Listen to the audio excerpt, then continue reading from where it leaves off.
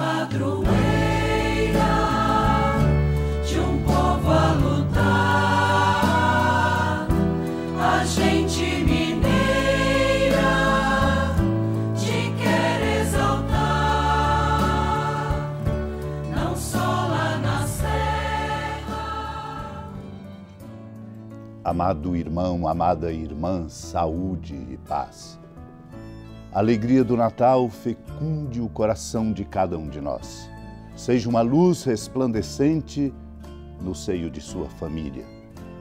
E seja uma estrela indicando o caminho novo para o tempo novo que a nossa sociedade precisa encontrar como saída, particularmente nesta experiência bonita e importante de colocar Deus no centro de nossas vidas.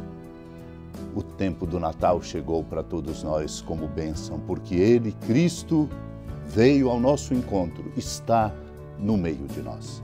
Seja esse tempo um tempo de graças, de bênçãos, fecundados todos nós pelos horizontes bonitos do tempo bonito que estamos vivendo, o ano santo extraordinário da misericórdia. A misericórdia de Deus que vem ao nosso encontro nos fortaleça e nos inspire para que possamos ir ao encontro uns dos outros. Escutando a palavra santa agora, nesta hora bendita, ao redor da amada Mãe Maria, por ela inspirados, esta palavra nos interpele e abra o nosso coração para Ele, Cristo, o Senhor de nossas vidas. No princípio era a palavra, e a palavra estava com Deus, e a palavra era Deus. No princípio estava ela com Deus. Tudo foi feito por ela, e sem ela nada se fez de tudo que foi feito. Nela estava a vida, e a vida era a luz dos homens. E a luz brilha nas trevas, e as trevas não conseguiram dominá-la. Surgiu um homem enviado por Deus, seu nome era João ele veio como testemunha para dar testemunho da luz para que todos chegassem à fé por meio dele. Ele não era a luz, mas veio para dar testemunho da luz, daquele que era a luz da verdade que, vindo ao mundo, ilumina todo ser humano. A palavra estava no mundo e o mundo foi feito por meio dela, mas o mundo não quis conhecê-la. Veio para o que era seu e os seus não a acolheram mas a todos que a receberam deu-lhes capacidade de se tornarem filhos de Deus, isto é, aos que acreditam em seu nome, pois estes não nasceram do sangue, nem da vontade da carne, nem da vontade do varão, mas de Deus mesmo. E a palavra se fez carne e habitou entre nós, e nós contemplamos a sua glória, glória que recebe do Pai como Filho unigênito, cheio de graça e de verdade amado irmão, amada irmã. Na alegria bonita deste tempo do Natal que estamos celebrando, estamos na oitava do Natal. Hoje, juntos, concluímos a contagem do ano civil de 2015. Todos nós somos chamados a nos preparar. Não vamos fazer simplesmente festas exteriores, fazer algazarra ou barulho que apenas externamente produzem efeito. Vamos nos preparar, sobretudo interiormente, dedicando um tempo de silêncio à paz, um silêncio para escutar Deus. Vamos nos preparar, sobretudo, com novos propósitos, sobretudo porque somos chamados a dar testemunho.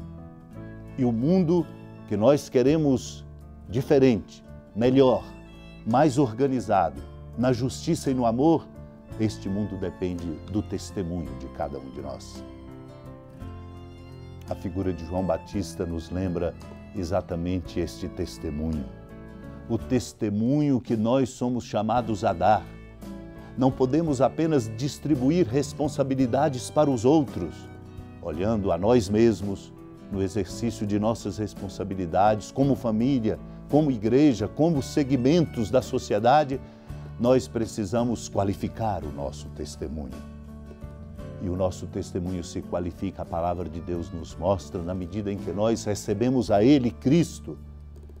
Quem o recebe se capacita diferente, porque ao recebê-lo, recebe em si a força do amor, pois só o amor de Deus nos capacita diferente para sermos na altura de uma palavra que abre novos caminhos, que devolve a esperança e que nos faz exercer com competência aquilo que é nossa responsabilidade.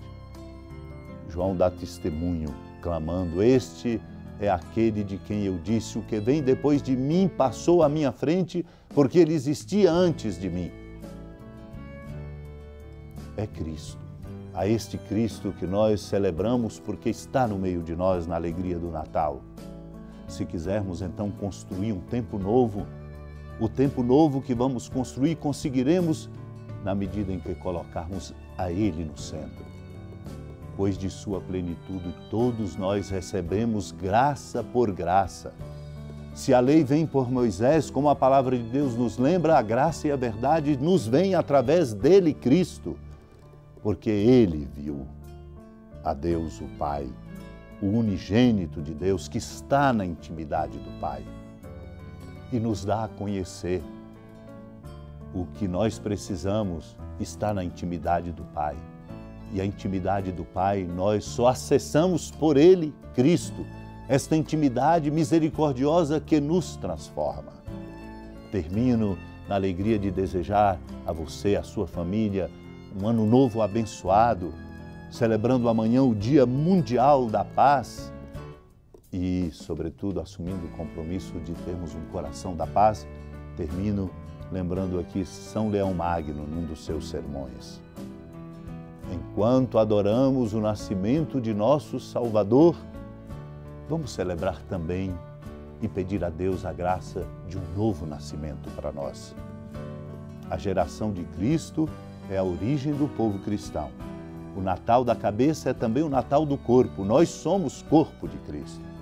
Embora cada um tenha sido chamado num momento determinado para fazer parte do povo do Senhor, e todos os filhos da igreja sejam diversos na sucessão dos tempos, todos os fiéis, saída da fonte batismal, todos os fiéis na sua totalidade, crucificada com Cristo na sua paixão, ressuscitada na sua ressurreição e colocada à direita do Pai na sua ascensão, também nasceu com Ele neste Natal.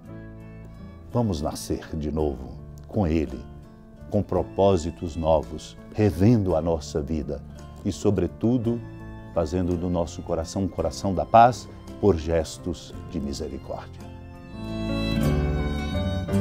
Amado irmão, amada irmã, iluminados e interpelados por essa palavra santa de Deus que amorosamente nos conduz e é luz para nosso caminho e lâmpada para nossos pés, confiando na intercessão da amada Mãe Maria, Renovemos agora nossas preces e súplicas, recordando-nos dos pobres, dos enfermos, dos sofredores, de nossos familiares e de todos no exercício de suas responsabilidades.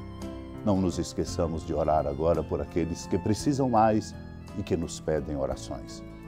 Oremos pela paz, para que o tempo nosso seja de promoção da paz. Senhora da piedade.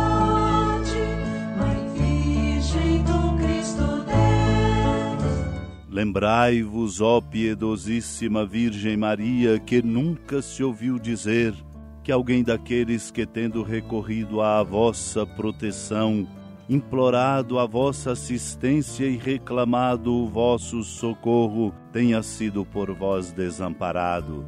Animado com igual confiança, vós recorro, ó Virgem das Virgens, e gemendo sob o peso dos meus pecados, me prostro a vossos pés. Não desprezeis as minhas súplicas, ó Mãe do Verbo encarnado, mas dignai-vos de as ouvir propícia e de me alcançar o que vos peço. Amém. Feliz padroeira de um povo a lutar, a gente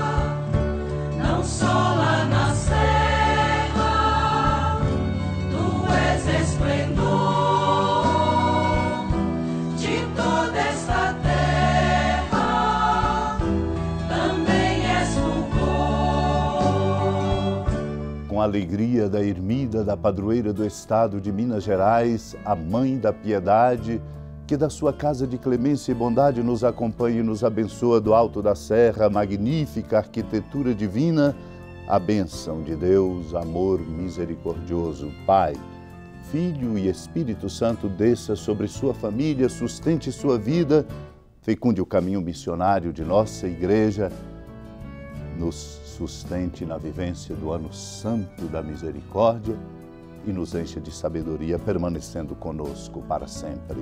Amém. Feliz padroeira.